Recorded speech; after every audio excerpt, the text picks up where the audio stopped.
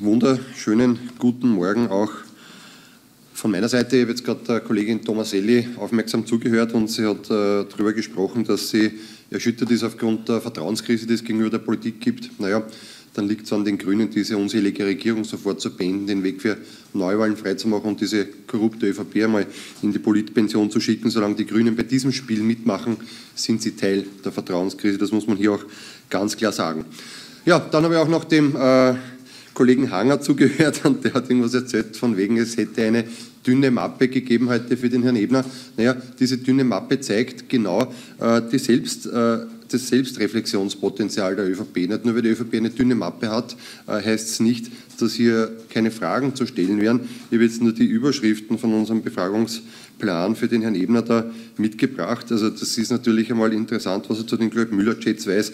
Es ist interessant, was er zu dieser Aktion Schutzengel weiß, wo Landesgelder im Prinzip eigentlich ständig für die persönliche Werbung der Landeshauptfrau Mikl-Leitner verwendet werden. Natürlich gibt es Berührungspunkte zur Hygiene Austria, Interventionen beim ORF Niederösterreich. Das ist etwas, was überhaupt noch niemand äh, irgendwie gefragt hat. Ja, und schlussendlich auch das Projekt Ballhausplatz und der österreichische Integrationsfonds. Also ich weiß nicht, warum die ÖVP eine dünne Mappe hat. Äh, wir haben jedenfalls keine. Ja, aber zurück zum Hauptgast des heutigen Tages, zum Herrn Bundeskanzler Nehammer. Also ich möchte den heutigen Tag vorbereitet habe, habe ich immer so ein Lied im Hinterkopf gehabt und so, ich weiß nicht, äh, die älteren Herrinnen werden es vielleicht noch kennen. Und zwar, das heißt, ist von der ERV und heißt Küss die Hand, Herr Kerkermeister, ich bin wieder da. So kommt es mir heute auch vor. Wir haben den Herrn Bundeskanzler, glaube ich, jetzt zum vierten oder fünften Mal im Untersuchungsausschuss. Und ja, er ist nicht Dauergast in diesem Knast, aber es ist doch interessant, äh, dass wir so viele Fragen an den Herrn Bundeskanzler zu richten haben. Und er ist auch vollkommen gerechtfertigt zum wiederholten Male da.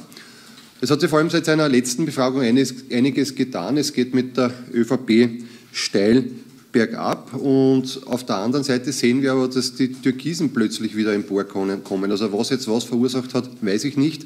Äh, das wird sich vielleicht auch heute im Zuge der Befragung noch ergeben, aber Jedenfalls ist eines klar, der Herr Bundeskanzler Nehammer ist sowohl schwarz als auch türkis, als auch schwarz als auch wiederum türkis und genau deswegen für uns eine wichtige Auskunftsperson. Er war in den Jahren äh, von 2018 bis 2020 Generalsekretär und es wäre lebensfremd anzunehmen, dass nicht die eine oder andere Grauslichkeit auch über seinen Schreibtisch gegangen ist.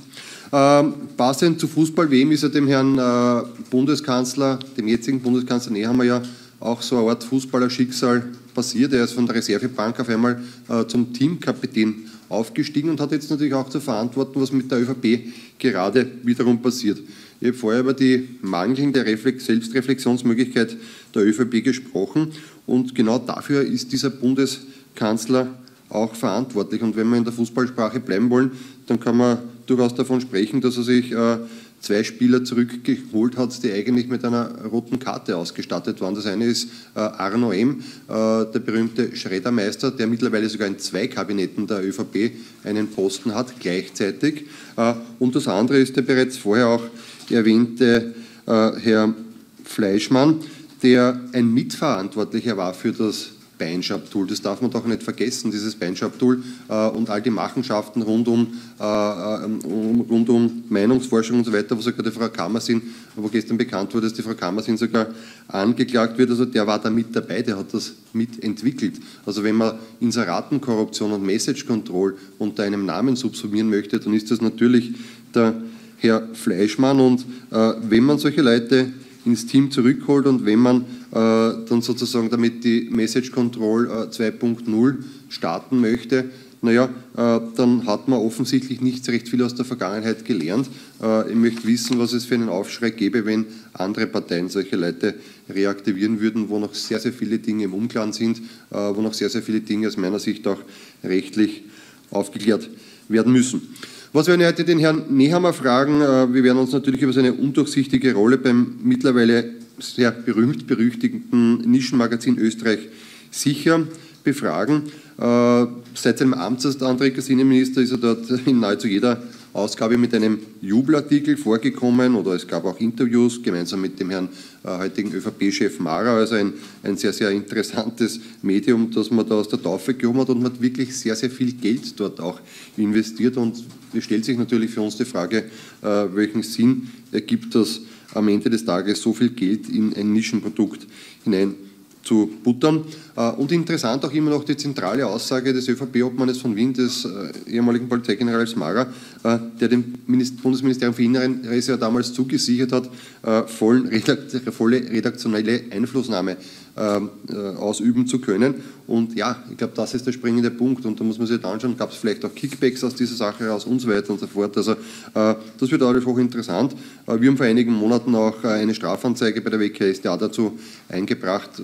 Den Stand kenne ich momentan nicht, aber vielleicht äh, gibt es auch dazu was Neues.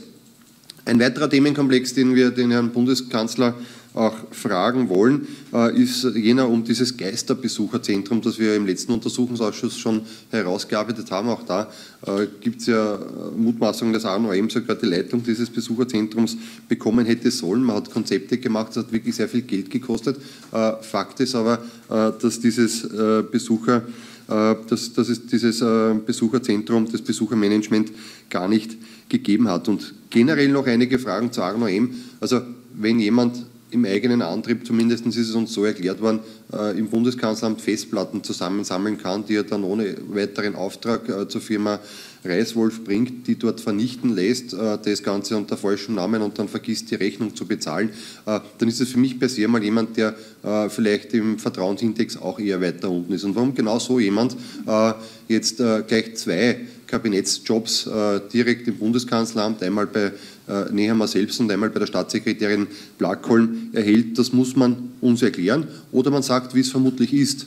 Das ist einfach die Belohnung für die treuen Daten von Arno Emmer, aber dann muss man es auch einmal klar sagen äh, und muss auch hier einen Beitrag zur Aufklärung leisten. Alles andere wäre unter dem Titel originelle Personalpolitik zu subsumieren. Ja, es wird dann noch äh, um diverse Interventionskausen bei der Polizei gehen, die den Steuerzahler schlussendlich zu stehen kommen, weil halt dann schlussendlich äh, Besetzungen vorgenommen worden sind, die äh, am Ende des Tages in Diskriminierungen gemündet haben. Äh, ja, und wie gesagt, zum zweiten Gast des heutigen Tages habe ich bereits einiges erwähnt, der Landesgeschäftsführer der ÖVP Niederösterreich, der Herr Ebner. Wie gesagt, auch da wird es ein bisschen ein Wetterleuchten geben für die morgige Befragung gegenüber der Frau Landeshauptmann Mikkel-Leitner. Gibt es Fragen Ihrerseits? Dankeschön.